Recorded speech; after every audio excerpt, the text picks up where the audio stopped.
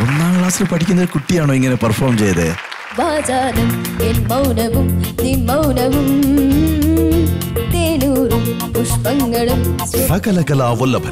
ശനിയാഴ്ച രാത്രി എട്ട് മണിക്ക് ഏഷ്യാനെറ്റിലും പിന്നെ എപ്പോഴും ഹോട്ട്സ്റ്റാറിലും.